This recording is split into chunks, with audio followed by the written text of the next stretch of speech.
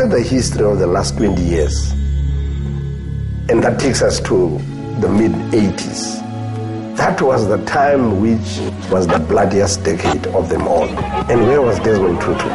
He was in the middle of it. This is the man who threatened to leave this country if we, in response to state repression, by way of revolutionary violence, embraced the so-called necklace method. Even that time was saying we must go for the most effective but peaceful means. He's a man who's been leading this country towards a place where we could be counted in the humanity as those who have transversed diversity and come to be reckoned as people who embrace the notion of humanity. One of the foremost points is that we need to impact the young generations of this country to understand the values of peace and peaceful living. There are concrete projects that are in place. One of them is going to be the museum attraction, but that's not all. There's going to be an exhibition center.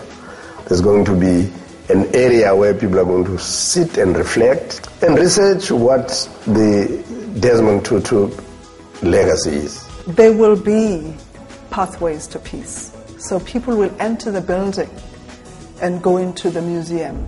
They'll go to other parts of the building. Some may go to the places where there are lectures and workshops. Some will go to a place where there's a peace table, where there's a brokering of peace. Some will go to the museum and have an experience of our troubled past and how we solved it and where we are as a nation. Then they will move out of that to a contemplative space where, as individuals, they have to do an inward looking process of saying, I've seen all of this, what does it mean for me? And how do I take myself out of this space to be a beacon for peace for those around me? So we're hoping that people are going to come into the building and move out of it, having seen inside themselves and got a different sense of how to be with others. It's not just a South African thing. I would hope that the message of the Desmond Tutu Peace Center is going to be that peace, particularly in this continent, is something that must be grown. Through the establishment of the Desmond Tutu Peace Center, we seek to convert the unique leadership of Archbishop Tutu over the decades and into the future into leadership thinking and development for a new generation of leaders and hopefully peace builders that can build on his great and unmatchable legacy in this country. The concretization of what the Tutu legacy is with regard to peace is going to be the way in which there will be researches that are done and the building up of a curriculum.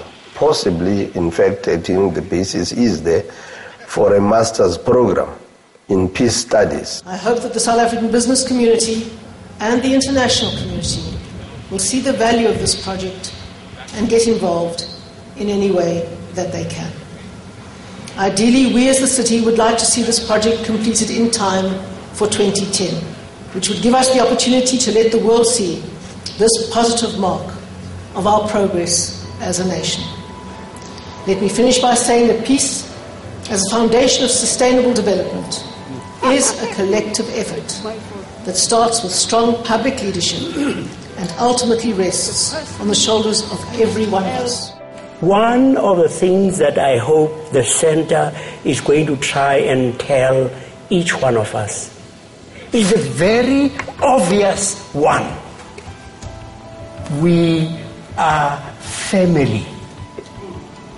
This is very simple and almost sentimental. If we want sustainable development,